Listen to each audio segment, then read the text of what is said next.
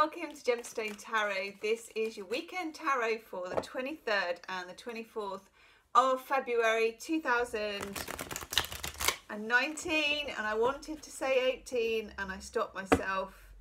I feel like we're making progress here folks. I know. Sun is in Pisces. Happy birthday to all the lovely Pisceans. This is also my birthday month which makes things my solar return lighter and brighter. That's my story. Oh, okay. The World card has come out nearly every day this week and it's been up and down and up and down. Okay.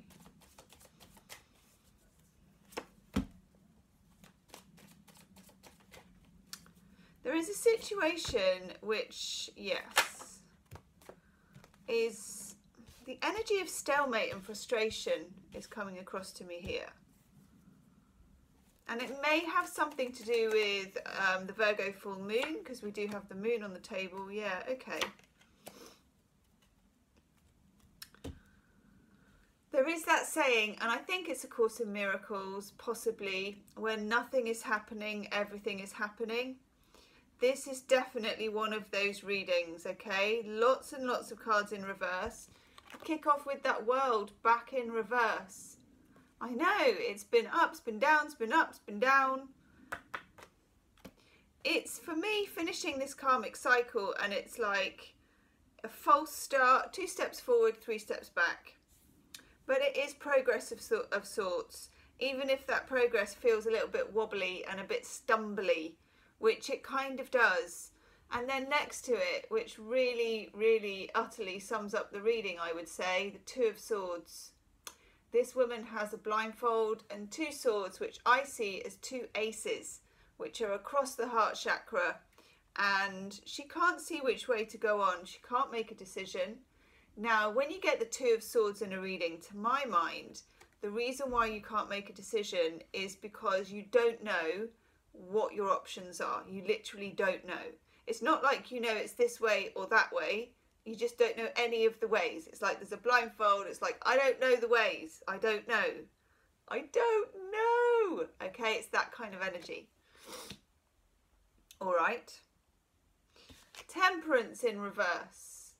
Feeling cross about that. Feeling like you would like to know. You would like a decision. You would like to choose or be chosen. Okay, one or the other temperance in reverse is a bit of a reminder to us sometimes that when you're feeling that angsty kind of energy, that that sort of needy, grabby, want it, you know, type energy, it's a time to somehow manage to just step back, get back into your body and back into your soul in a sense, and just be rather than want to be further down the line in whatever this frustrating situation is.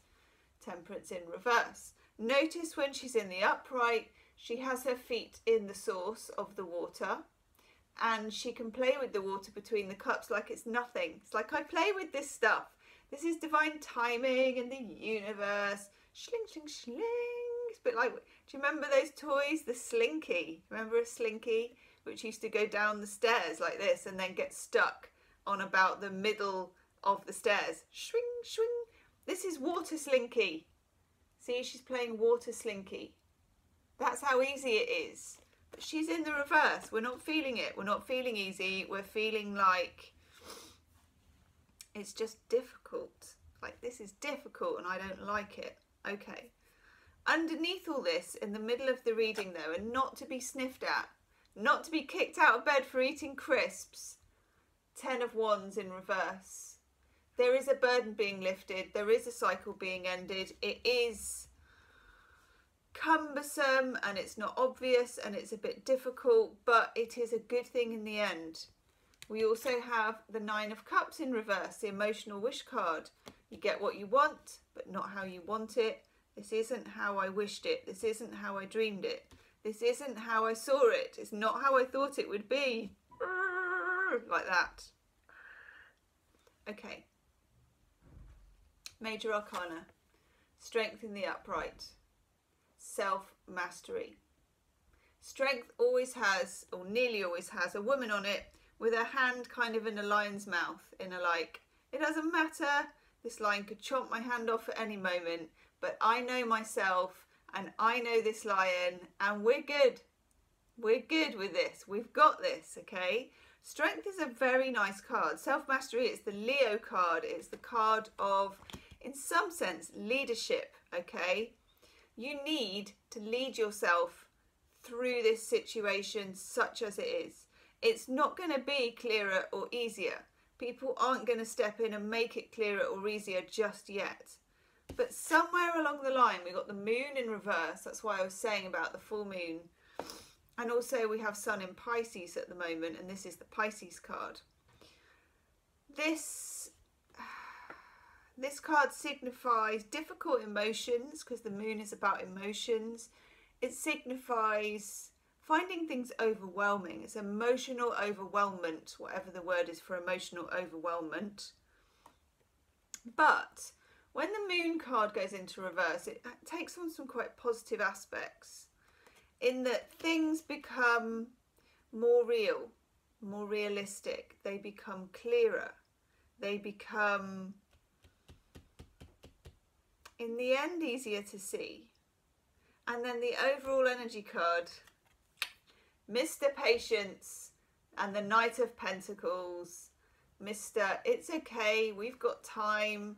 I'm just here with my pentacle and my pawn tash.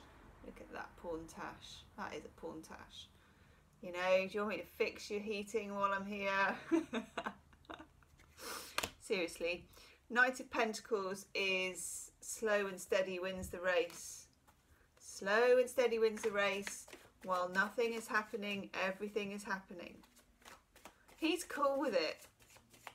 He's like the kind of masculine version of temperance. He's like, yeah, I'm cool with it. She's cool because she's playing water slinky, but he's cool because he's got his armour on. He knows he's going to get there. He never doubts it, okay? It's also a card which this card is sometimes called faith. It is faith in your own strength and faith in the strength of the people in the situation. Nice. Ah, okay. Some of you, and this came out the other day, are dealing with a man and there are two women in the scenario. We've got the remembrance, and the remembrance is about usually someone who is in your past in some way. Then we have Lady of the Forest and Queen of Bedlam. Now, this can be that there are two women involved in a situation. One is quite destructive and causes bedlam, and the other one is cool and is the Lady of the Forest. Her hair is in the greening. She's like, it's okay. I'm just going to be where I am. I'm going to let the roots grow through me. I know that I'm grounded. All is well. Sometimes when you get two cards like this, you are both. You are flip-flopping between being the bedlam person and the person who knows that it is going to be okay. That's all right. A certain amount of flip-flopping is inevitable. Let's have an oracle card. Let's have an oracle card. This is quite a stuck energy. It has been with us all week. All week, I tell you. Yes, my friend. Good, actually. We get chaos and conflict. And do you know what? It's most welcome because I was going to say it takes the stripes off the zebra, but it doesn't. It takes the stripes off whatever else. It takes the patches off and then the zebra stripes underneath. I know, that's a bit confluxed and confused, isn't it? Nevertheless, chaos and conflict causes an interruption in this rather kind of stagnant, stubborn energy. It moves things along. Things happen. Things happen that need to happen. They don't happen because you make them, they just happen.